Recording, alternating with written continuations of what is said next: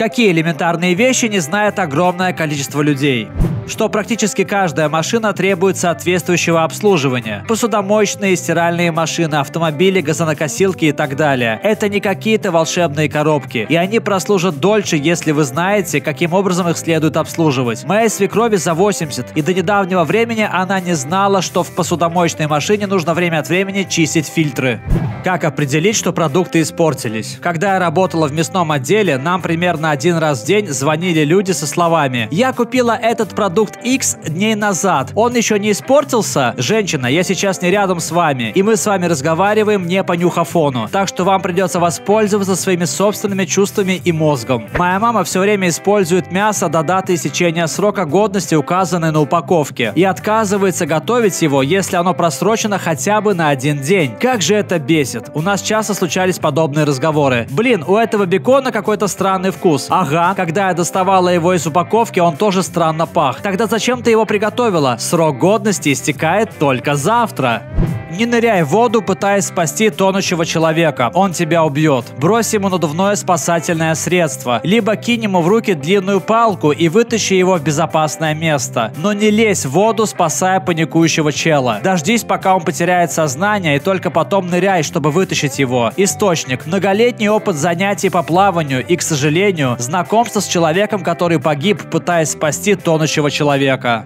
Если продукт натуральный, это не значит, что он автоматически полезен для здоровья. Если продукт не натуральный или синтетический, это не значит, что он автоматически вреден для вас. Вчера моя девушка сказала мне, что газированная вода вредная, потому что в ней слишком много химикатов. Я чуть ли не заорал ей в ответ, да в ней их только два, и один из них – вода. Сто процентов людей, которые пили воду, в конечном итоге умерли.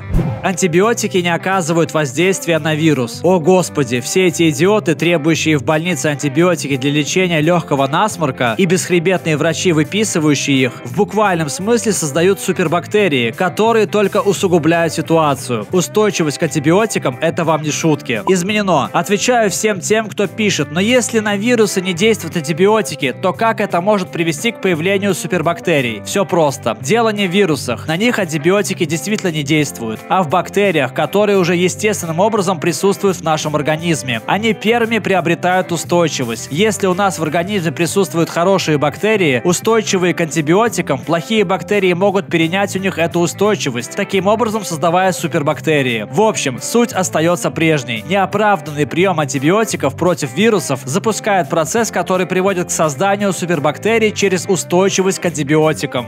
Как оказывать первую помощь? Люди, живущие одни, пожалуйста, погуглите, как делать прием Геймлиха самому себе. И регулярно вспоминайте про него. Это может спасти вам жизнь, если вдруг рядом никого не будет. Либо, если вы подавитесь и начнете задыхаться, а рядом никого не будет, знайте, что нужно бежать туда, где вас точно найдут люди. Куда-нибудь на дорогу или в место с большой проходимостью людей. Если вы потеряете сознание, будучи одни у себя дома, вас найдут, когда будет уже слишком поздно.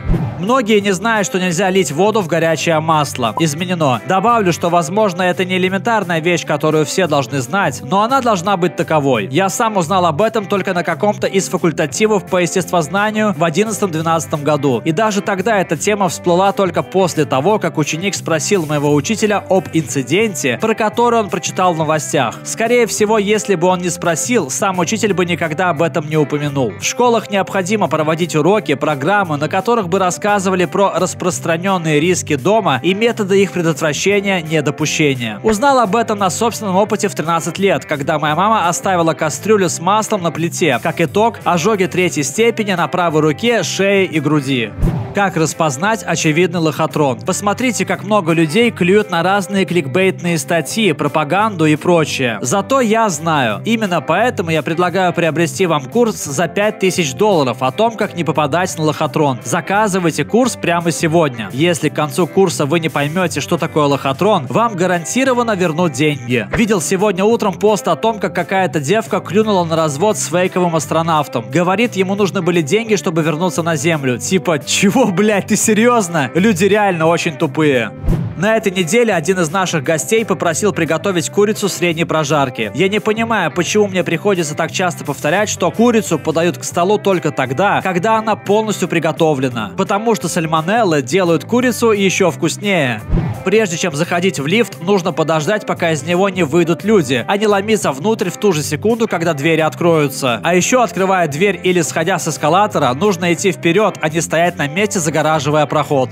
Где в их доме перекрывается вода? Кроме того, перекрыв воду, у вас волшебным образом не произойдет разгерметизация труб. Если у вас есть утечка или вы ремонтируете водопровод, вам сначала нужно открыть краны, чтобы вода, уже находящаяся в трубах, вытекла. Многие не знают, что значит аргументация, основанная на доказательствах, и что вообще такое доказательство. А ты докажи. А у тебя самого есть доказательства? В интернете есть много доказательств, поищи сам что научное значение слова «теория» отличается от его разговорного значения. Верно, разговорное значение слова «теория» — это гипотеза. Научное значение слова «гипотеза» также подразумевает, что вы собираетесь ее проверить. Большинство людей используют слово «гипотеза» в значении предположения что можно выбрать одно из двух зол, и при этом все равно вам не будет нравиться ни один из этих вариантов. Аналогично, ты не обязан поддерживать что-то на 100% и быть на 100% против чего-то другого. Что не стоит беспокоить диких животных. Я уверен, что таким образом работает естественный отбор. Но вокруг реально огромное количество тупых людей, которые подходят близко к диким животным, чтобы снять хороший кадр. Как же меня это бесит что не все новости в интернете правдивы. Это касается и новостей в газетах и телевизоре. Что в любом транспортном средстве необходимо сидеть правильным образом. Травма ног – это вам не шутка. Вы с легкостью можете вывихнуть, переломать себе ноги в автомобильной аварии, если они у вас будут лежать на приборной панели. Да, но каким образом я еще могу выпендриваться, пока еду за рулем? Финансовая грамотность – очень важная херня, но многие люди нифига про нее не знают. Верняк. Раньше я никогда не составлял бюджет и не делал чего-то подобного. Теперь, когда мне за 30, мои обязанности на работе расширились и стали включать в себя составление бюджета. Теперь я применяю эти знания и вне работы, что мгновенно вдвое уменьшило весь стресс, связанный с финансами, который был у меня раньше. По правде, этим вещам должны учить детей в школе. Многие люди не знают, как проверить, стоит ли доверять тому или иному источнику информации. Дезинформация прямо-таки убивает людей. Изменено. Как на самом деле проверить, заслуживает ли источник доверия? Определите, кто автор статьи и проверьте его квалификацию. Также посмотрите, кто является его работодателем и подумайте, как это может повлиять на его предубеждения. Сравните заголовок с фактическим содержанием статьи. Не вводит ли он в заблуждение, чтобы вызвать эмоциональную реакцию? Подумайте, не сделано ли это для того, чтобы намеренно запутать людей. Проверьте статью с помощью таких сайтов, как factcheck.org. Обратите внимание, приводит ли новостная статья существующие источники и цитаты. Проверьте, нет ли в URL адресе опечаток или каких-то странных слов. Важно помнить, всегда обращайтесь к нескольким источникам. Социальные сети не являются надежным источником, показываю пальцем на Facebook. Старайтесь быть непредвзятыми по отношению к информации.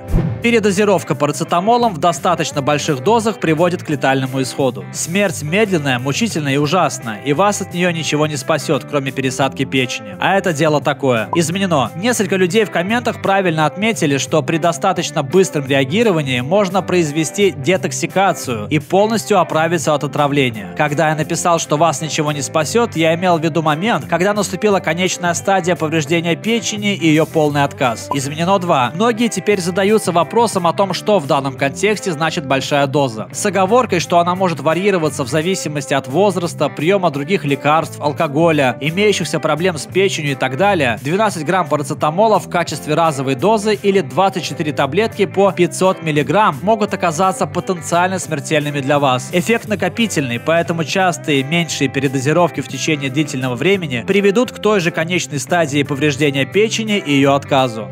Непрошенные советы обычно воспринимаются людьми как критика. Критикуя людей в своей повседневной жизни, вы создаете между вами дистанцию. Если вы будете совать нос туда, куда не нужно, то ваши отношения с другими людьми будут ухудшаться, и со временем эти люди будут относиться к вашему мнению и советам менее серьезно, потому что будут считать вас занудой и всезнайкой. А с такими людьми обычно перестают общаться. Вместо этого сначала спросите себя, нужен ли вообще этому человеку ваш совет, касается ли это вас каким-то образом, является является ли ситуация чрезвычайной? Может ли кто-то пострадать, если вы не вмешаетесь? Просит ли у вас совета? Или этот человек просто делится информацией о своем дне и таким образом поддерживает с вами связь? И если вы решили, что вам все-таки нужно высказаться, попробуйте начать со слов «Можно я скажу свое мнение?». В противном случае вы просто выбесите своего собеседника. То же самое работает и в обратную сторону. Если в вашей жизни есть какой-то зануда всезнайка, лучше просто сбрить его спокойным и вежливым образом, сказав что-то вроде «Спасибо, но я не спрашивал совета». Если вы начнете объяснять ему свою ситуацию, он воспримет это как приглашение вовлечься в вашу жизнь еще сильнее. Большое спасибо за просмотр. В комментариях под видео напишите, какие элементарные вещи не знает огромное количество людей и не забудьте посмотреть наши другие видосы. Пока!